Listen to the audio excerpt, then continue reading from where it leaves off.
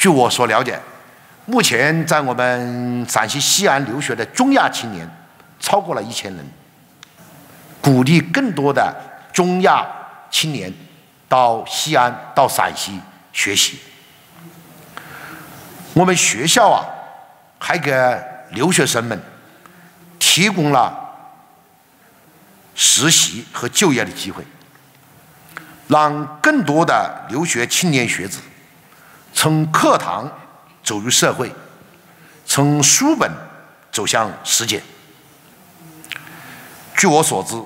在我们西安国际港务区“一带一路”的电商中心，就有超过五百五百人的中亚国家留学生和各国的青年，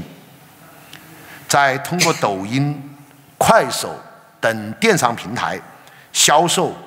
蜂蜜、糖果、面粉、食用油等中亚国家的产品。他们已经开始了电商平台。和实体店线上线下的贸易互动，因为中欧班列为跨境电商提供了便捷的交通物流，很多中亚青年已经当上了小老板。